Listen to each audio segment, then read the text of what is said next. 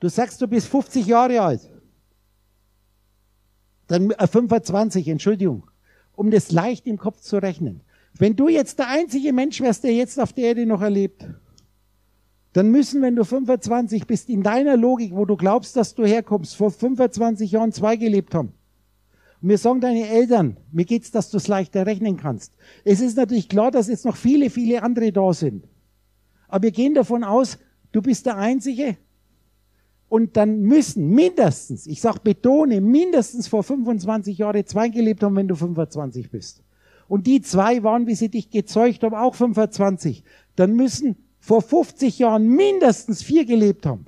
Ich kann das noch reduzieren auf zwei, auf die zwei Frauen, weil ein Mann kann, auf drei, Entschuldigung, weil ein Mann kann die zwei Frauen schwängern.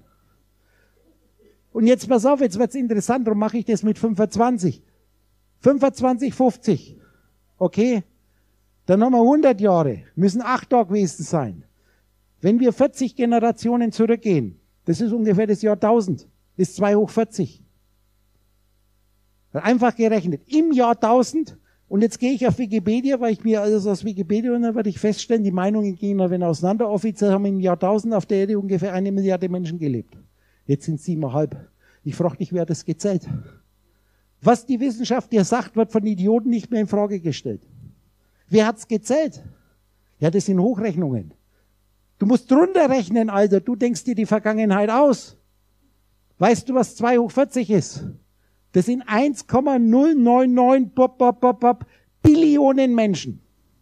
Das heißt, wenn dieses System der Entstehung von Menschen stimmt, dass man dir sagt, müssten mindestens, ich rede wohlgemerkt nicht von der ganzen Pyramide, müssen mindestens 1,1 Billionen Menschen auf der Welt gewesen sein. Und selbst wenn ich jetzt sage, dass ein aller einziger Mann extrem konzentriert seine Milliarden von Samenpfädchen einzeln einpflanzt und schwängert, dann müssen es immer noch über 500 Milliarden gewesen sein.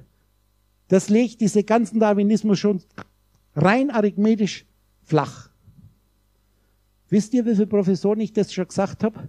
Und die haben sich den Kopf zerbrochen und den Kopf zerbrochen. Die haben sich permanent gefragt, was an dem Beispiel verkehrt ist.